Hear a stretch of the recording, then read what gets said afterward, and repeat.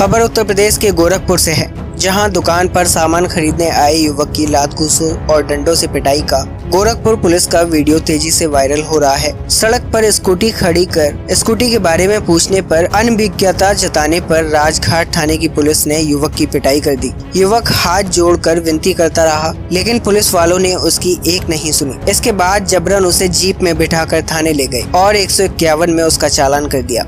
बताया जा रहा है कि यह वीडियो सोमवार की दोपहर का है। वीडियो में राजघाट थाने की पुलिस की जीप साफ़ दिखाई दे रही है। जीप पर राजघाट थाने का नंबर भी लिखा हुआ है। दो से तीन की संख्या में मौजूद पुलिस वाले युवक की पिटाई करते हुए दिखाई दे रहे हैं। वे उसे दुकान में ले जाकर पीटते हैं और उसके बाद सड़क पर भी लात, घूसों और डंडे से पीटना शुरू कर देते हैं। पुलिस वालों का गुस्सा यहीं पर शांत नहीं होता, बल्कि वे जबरन युवक को जीप में बिठाकर ले जाते हैं और थाने में उसके ऊपर एक सौ इक्यावन का चालान भी कर देते हैं।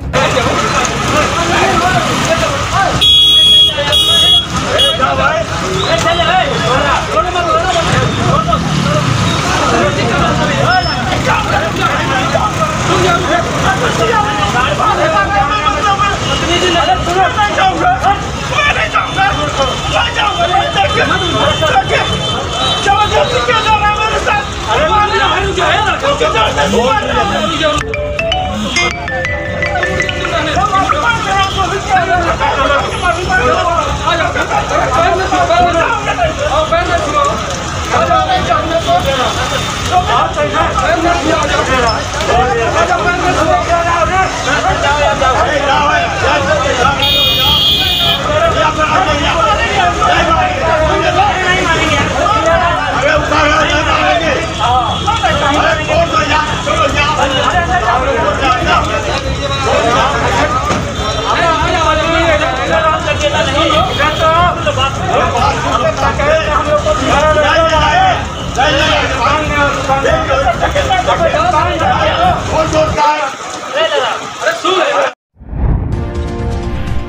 UP city news. जुड़िए उत्तर प्रदेश से